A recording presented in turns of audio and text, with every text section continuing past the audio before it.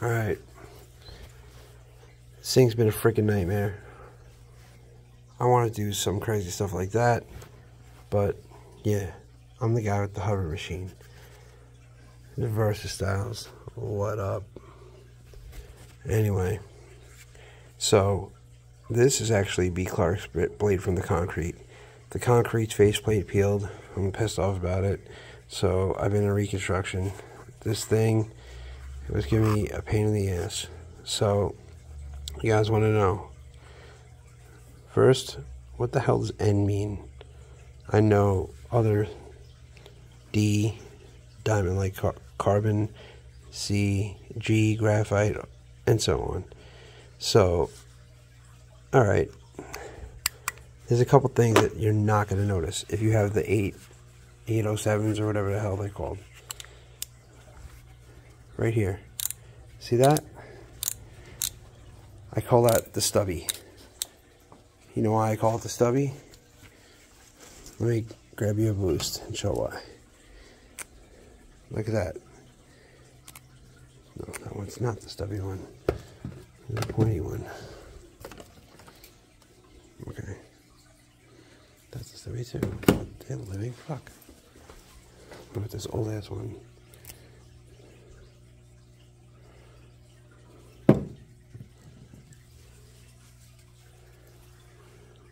Okay. You can see the difference. The 807s have a longer lever. The Lo-Pro does not. Short. You gotta use a short lever. Then, when you put the spring in, you have to put the spring in first the moment everybody never gets to see. You have to put the spring in front of that metal part. But this is what I just did. I put one of those little Supreme grippers. I tightened the bottom left bolt down really tight because what's going to happen is it's not going to line up correctly. Because you have to just like the trimmer you have to get those two aligned. So you have the spring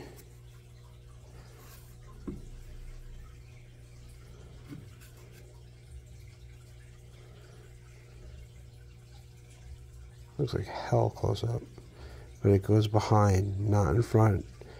Behind, and then you have the two little chambers. And then what I did was I put the rubber in here. But here's one last little trick I got up my sleeve.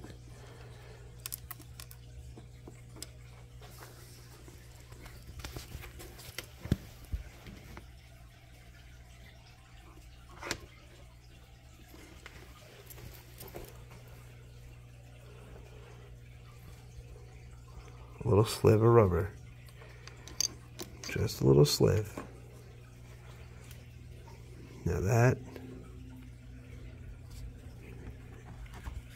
turn the clipper to the right, that little sliver is gonna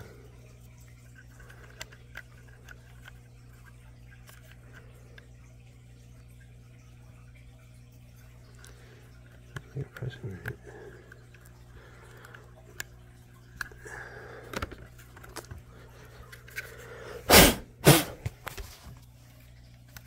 Fucked up. There.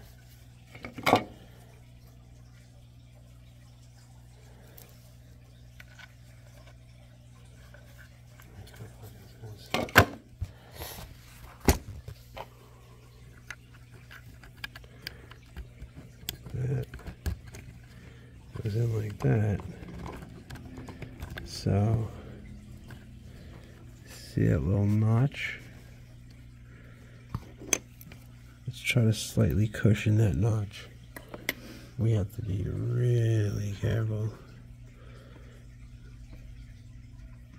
So if we hold it on an angle and tighten it, it'll go. So.